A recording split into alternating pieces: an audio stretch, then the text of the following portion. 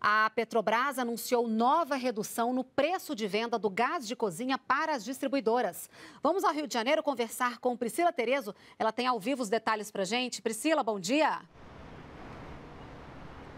Bom dia, Renata. Bom dia a todos. Pois é, como você disse, o preço do gás vai diminuir. O quilo vai de R$ 4,02 para R$ 3,78. Na prática, o botijão de 13 quilos, que é aquele mais comum que geralmente os brasileiros têm em casa, vai sair da Petrobras custando R$ 49,00 e 19 centavos. Essa é a segunda diminuição em 10 dias. E segundo a Petrobras, essa redução acompanha a evolução dos valores de referência e é coerente com a prática de preços da empresa, que busca o equilíbrio dos seus preços com o mercado, mas sem o repasse para os valores internos, tanto da volatilidade conjuntural das cotações como da taxa de câmbio. Volto com você, Renata.